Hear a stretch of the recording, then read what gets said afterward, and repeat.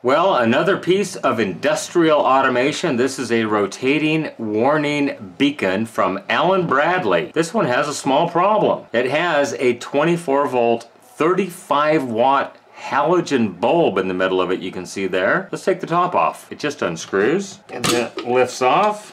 Oh, I busted the reflector off a little bit. Now this inside piece unscrews and then it lifts out as well and I've already got it disconnected from the terminal block on the bottom down here. So this one is a Allen Bradley 855BM-ARA24 24 volts 1.7 amps. It tells me max bulb 24 volt 35 watt. So here's a closer look at it. So it's got that 35 watt bulb in this little socket and what happens if I hadn't busted it but I can fix it it's okay this actually rotates around and you won't believe the features this thing has built into it. So I suspect what's going on on this particular unit is the commutator is bad on the motor because sometimes it'll rotate and sometimes it will not. And so look at that little tiny Torx. Who would put a tiny Torx in there? Come on, Allen Bradley. Almost doesn't fit, but thank you Harbor Freight for my little Torx bit assortment. Now we can take that completely off. Now this cover will come off completely. And then we can look at the inner workings of this guy. Look what's down in here, a little motor. And it's like a little rim drive motor because it just turns and that knurled nut drives an O-ring on the turntable to turn the light assembly around and it is spring loaded. Hard to see where the spring is but there's the hook. There's the spring hiding back underneath there. So let's go ahead and take out these screws. Torx again, wonderful. Thank you Allen Bradley. Remember you can buy better than Allen Bradley but you certainly cannot pay more. Alright so I've got the three screws detached. They hold the motor assembly in with some kind of a rudimentary shock absorption system with some rubber grommets on here. But before I go any further, let's go ahead and power this unit up and I'll show you some of the interesting details of this unit. So I'm going to need my Sola 24 volt power supply that I just repaired on a previous video. So let's go ahead and hook this up to it because it does run on 24 volts. Okay, so I've got it semi-connected to the power supply. The power supply is on, but it's not attached. I'll go ahead and attach the power supply lead to it. We'll see if it's going to start. And it does start and it runs. Now this model does have a high and a low speed, so it's on high speed now. And there it's on low speed.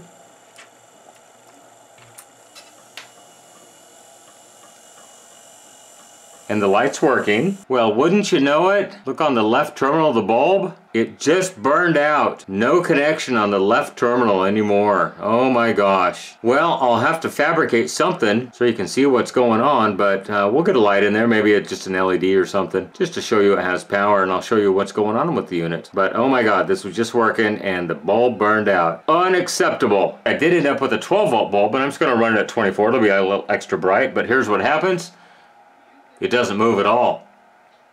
And if you give it enough time, you hear a click and it times out. So if I remove power and reapply power, I get a light,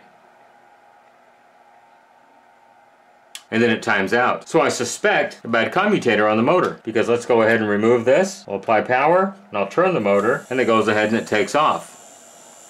Now if you look very closely, right there you can see an optical sensor. So if I block the light to the optical sensor with my thumb, it ramps up to a very high speed, then it shuts off. This thing is a smart, intelligent microprocessor that throttles the motor speed to keep the flasher at the right speed. And the way it does that is it uses that light to pass through these little holes in the turntable and it measures the speed that it passes that LED receiver. So when I block that,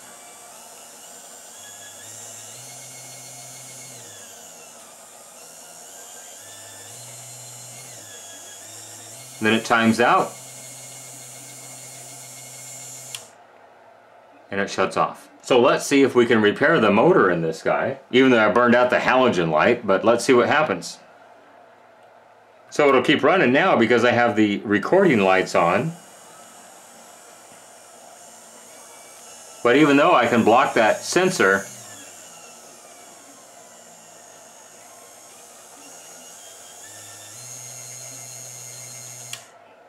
and it still shuts off. So there's the bottom of the motor. You can see the brushes right there. There's the relay and some other associated components down here. So let's go ahead and see if we can look at the motor itself and see if we can find a bad COM bar on the commutator. Alright, so here's the motor. Let's go ahead and pull the brushes out of it. We just got to release these springs.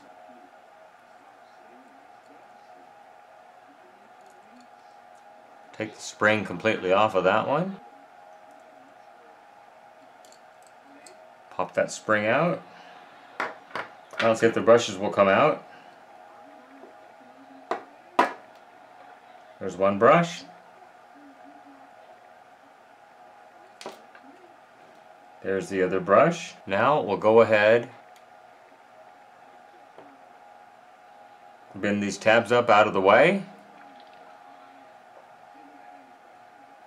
And we can pull the bottom off the motor. There's where the brushes ride. There's the COM bars. They actually look pretty good. A little bit of discoloration on that one, but look how much wear there is on that. Oh my gosh. I think it's kind of worn out. I don't think we're saving this one.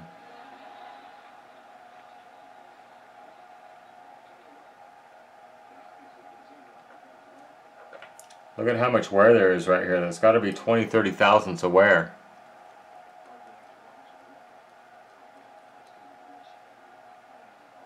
At that deep divot right there. Oh yeah, look at that brush.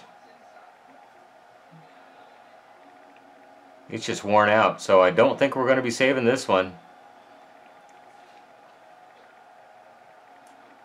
The comb bar is worn out and the brushes are worn. They still have enough brush, definitely. We could go ahead and reuse those brushes, but the comb bar is the big problem.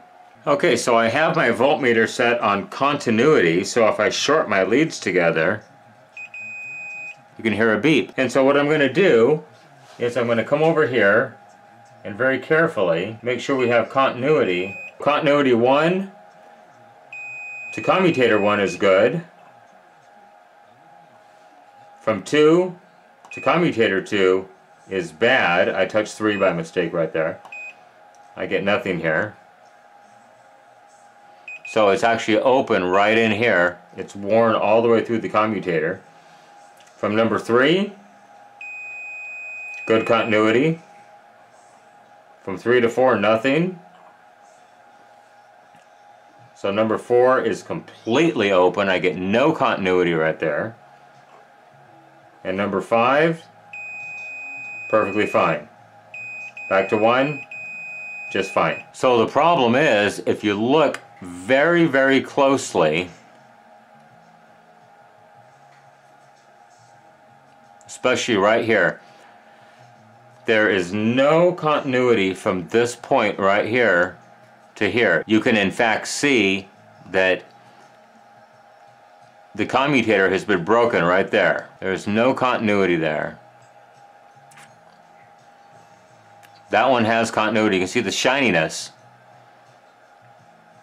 No continuity right there. Just the slightest bit maybe right there on the side.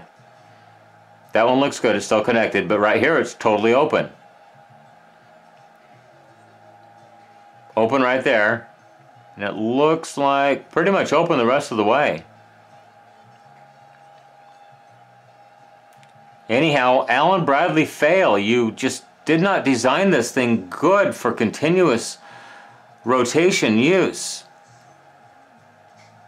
Wow, look at that. You can definitely see where the uh, continuity is and is not. It's worn out. There's no bringing this one back to life. Alright, so here's a quick look at the circuit board. Nice zoomed in view, bridge rectifier right there. Probably a power transistor or a FET.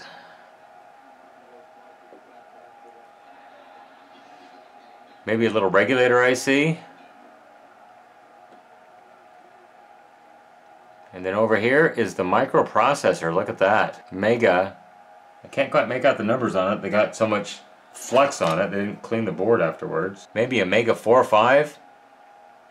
Just can't quite make it out. But anyhow, that's the microprocessor that controls the speed of the motor and controls the lamp output. So over here on this side we have this relay.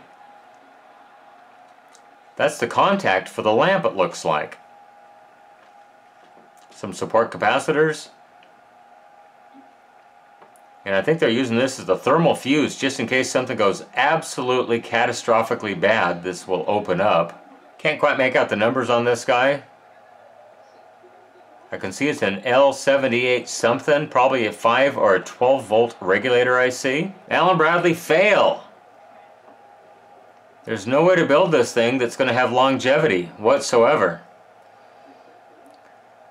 Anyhow, that's the end of the video. I hope you enjoyed this video. If you did, please consider making a donation on my YouTube homepage with the PayPal donate button or at paypal.me slash norcal715. Don't forget to subscribe, like, and ring that bell to get future notifications. Unfortunately, this one's going to be a goner. Remember, with your help, we can try to keep these things out of the landfill and out of the recycle bin. Everybody have a great day. Thanks for watching. Bye-bye.